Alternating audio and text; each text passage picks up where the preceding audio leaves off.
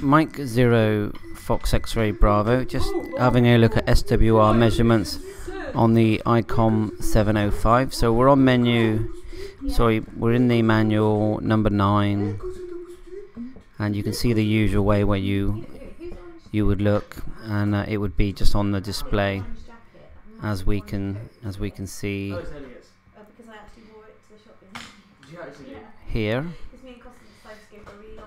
So we'll go back to the manual Literally walk of one hour and 15 minutes. um, and then just scroll down and you get to the graph, the SWR graph.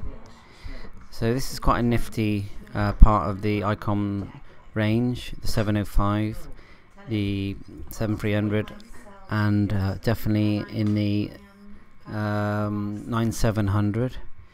So we're just going to have a little play with it. First thing we'll do is switch back to the radio. Um, so we'll hit menu Do it.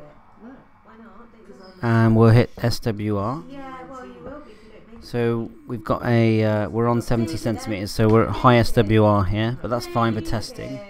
So you can choose your steps here, and then push play, and then key the key the microphone, and then you can see I've got a high SWR there. And if we change the steps here, just so you can see, we're in 10k steps there. We'll push play, and we'll just key it there. So let's uh, try it on two meters. Obviously, you can do this on. HF bands as well.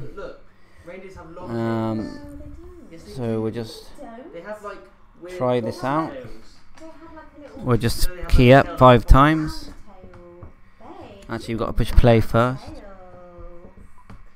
So one, see, it's good SWR I've got there. And if you look along the bottom, the frequencies, you can see the range that it's testing there.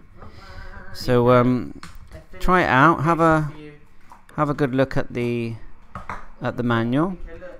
Uh, have a little read. See what you think. went to the house, Um, so M0FXB 73. and Please remember to subs subscribe.